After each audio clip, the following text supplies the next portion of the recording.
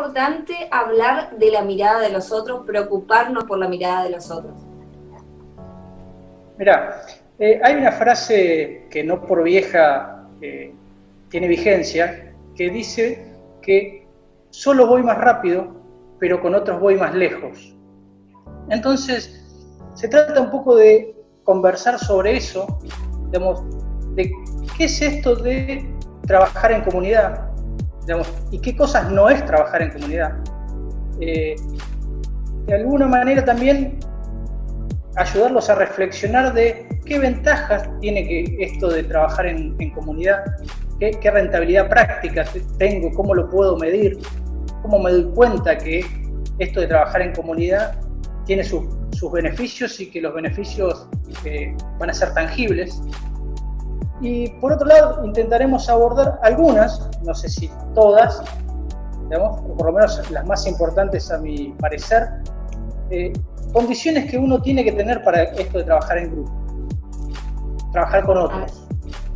Así como tiene sus beneficios trabajar en comunidad, trabajar en equipo, me imagino que debe tener sus dificultades y esto es lo que hace que algunas personas se resistan a trabajar en equipo. ¿Cuáles son las principales dificultades que se presentan en un trabajo en equipo y cómo hacemos para sobrellevarlas? Primero, cuando uno tiene que considerar que cuando trabaja en un equipo o vive, digamos, en una comunidad, llamémoslo así, eh, o comparte un espacio de comunidad, eh, las cosas tienen que ser finalmente por consenso. Digamos, las acciones colectivas son por consenso, o si no hay consenso, por lo menos por alineación.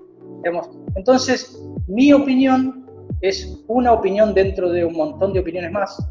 Digamos, tengo que entender que yo no tengo la verdad, sino que lo que yo tengo es mi verdad, que puede ser, digamos, parcial, o puedo estar viendo cosas que otros no están viendo, y que los otros también pueden estar viendo cosas que yo no estoy viendo, y que de esa mirada colectiva y del conversar y trabajar con una metodología nos beneficiemos todos. Justamente esta charla la vas a dar para Mejora Continua, una comunidad de negocios que trata de llevar adelante esto de lo que hablas. ¿Qué mensaje te gustaría que se lleve la comunidad de personas que participe de esta, de esta charla, de este encuentro? Por lo menos, digamos, que el que no lo conozca tenga la posibilidad de saber que hay una forma diferente de trabajar.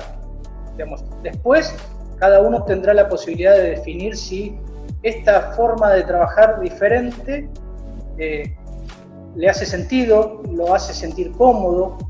Eh, no todos, como vos dijiste, eh, nos sentimos cómodos trabajando en equipo.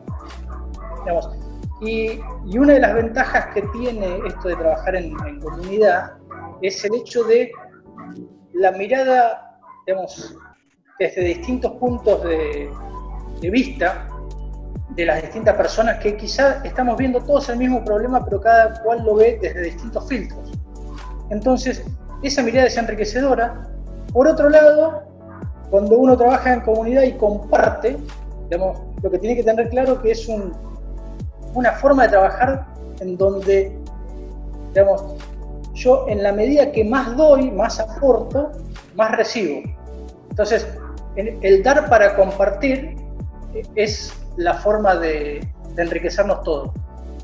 De alguna manera, el hecho de estar con gente diversa, que puede que sea una comunidad de un mismo rubro o puede ser de distintos rubros, hace que quizá el problema que yo hoy tengo o el, inconveniente que estoy en este preciso momento, hay otro que ya o lo tuvo o lo resolvió o sabe cómo resolverlo o tiene el contacto de quien pueda colaborar para resolverlo. Entonces, eso de alguna manera acorta tiempos y cuando uno acorta tiempos, eh, generalmente acorta, digamos, la erogación en dinero que implica el prueba de error. Además de escucharte a vos, también a Romina, en este evento que se realiza el martes del After Office, la idea es que interactúen entre sí. ¿Están armando alguna dinámica para que las personas también puedan conocerse e interactuar a través de Zoom? Una de las características que tiene eh, Mejora Continua es que en cada uno de sus eventos se organizan distintas dinámicas de networking. Digamos, este, por más que sea virtual, que es el primer evento virtual, si bien es el décimo que organiza la Escuela Continua, es el primero virtual. Eh, por ese hecho de ser virtual, no van a faltar las dinámicas de networking. un poco lo que se busca con esas dinámicas es que la gente se conozca, tenga la posibilidad de encontrar en un espacio eh, de tiempo muy corto posibles soluciones a sus problemas también.